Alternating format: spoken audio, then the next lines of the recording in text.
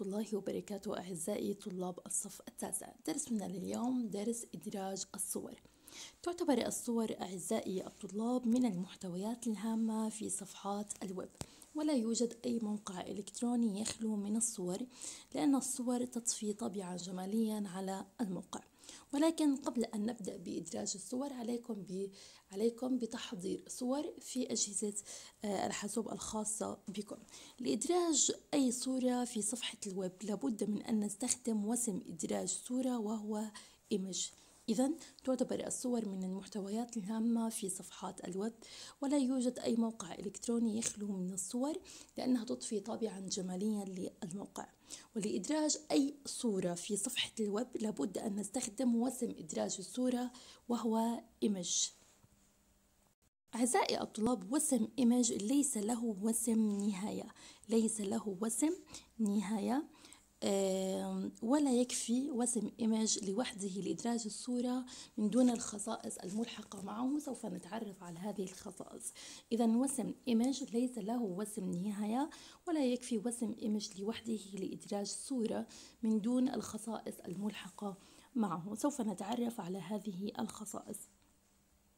الخاصية الأولى أعزائي الطلاب خاصية المصدر. خاصية المصدر اختصارها SRC خاصية المصدر. حيث تعمل هذه الخاصية على تحديد اسم صورة ونوعها المستخدمة في وسم image إذا أولا خصائص الصور خاصية المصدر خاصية المصدر SRC هذه الخاصية تعمل على تحديد اسم ونوع الصورة المستخدمة في وسم image مثلا آه نكتب وسم إدراج الصورة كالآتي أولا.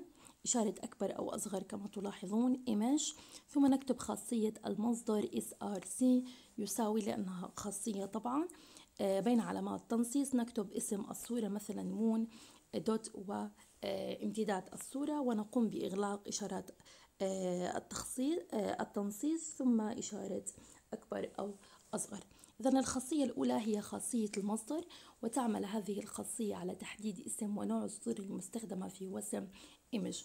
الخاصية الثانية أعزائي الطلاب هي خاصية height خاصية الارتفاع وتعني ارتفاع الصورة وتعمل هذه الخاصية على تحديد ارتفاع الصورة وقد يكون الارتفاع بالبكسل أو بالنسبة المئوية.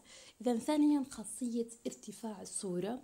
Height تعمل هذه الخاصية على تحديد ارتفاع الصورة والذي قد يكون بالبكسل أو بالنسبة المئوية. أيضا الخاصية الأخرى هي خاصية العرض خاصية العرض خاصية العرض.